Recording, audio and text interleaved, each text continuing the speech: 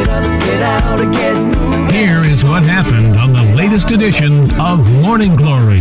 Now, one thing that always makes me happy is fish and chips, and uh, we've got Paul Markham in the studio here. Good morning. uh, who's uh, who makes the best fish and chips in town, and you've got a good reputation for it. Tell us why. Thank you. Well, originally we had uh, the village chippy. Uh, Pratumnak Hill, uh, over 5,000 condominiums up there in that area, Yeah. uh, has got no real decent takeaway, uh, well, it has now.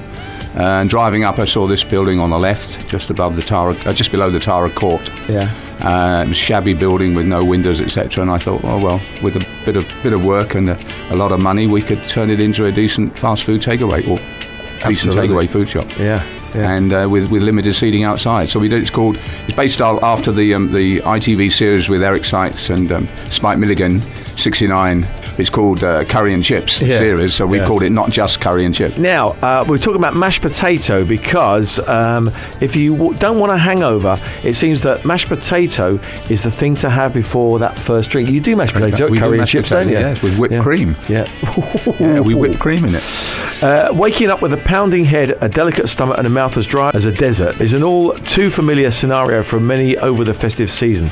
It's not just the pain you have to worry about, having a hangover could also make you a danger behind the wheel, suggests a recent study from the University of the West of England, which found that hungover drivers made more mistakes even once the alcohol had cleared their system.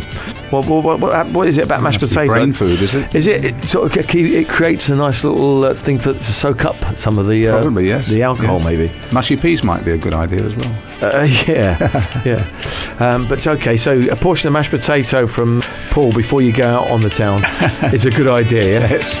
Uh, have a great Christmas. Fish Uh, Happy. Christmas to everybody out there. Lovely. Live on 96 FM Morning Glory.